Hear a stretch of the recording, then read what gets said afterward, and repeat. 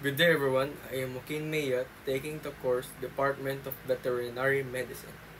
Today, we're going to discuss and learn how to dissect a bangus or a milkfish. Now as you can see the bangus or milkfish.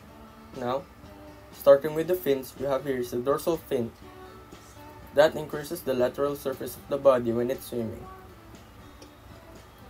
And next is the pectoral fins, which is located near its gills. This works the same as the pelvic fins.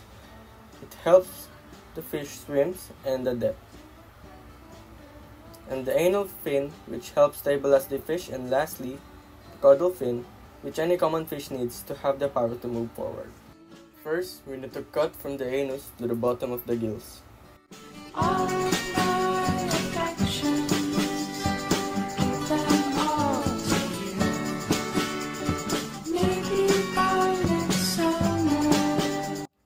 Now we cut from the lateral line of the fish.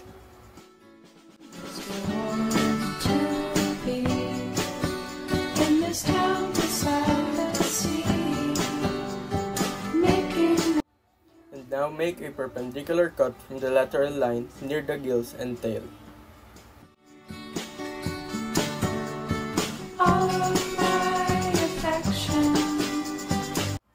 Then when you open it up, you can see the internal organs of the fish. We can now start removing the internal organs of the fish.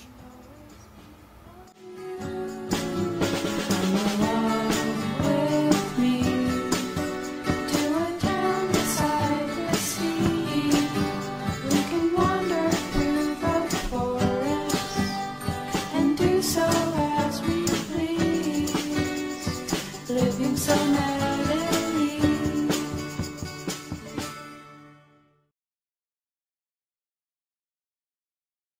We will now then be removing the gills. There is a total of 8 gills in a fish.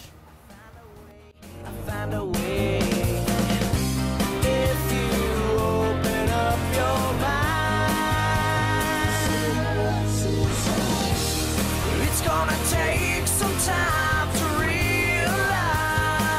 Now we are removing the eyes which function the same as the human eyes, but fish have a cornea, and the lens a retina containing light-sensitive cells and an optic nerve for translating the picture to the brain.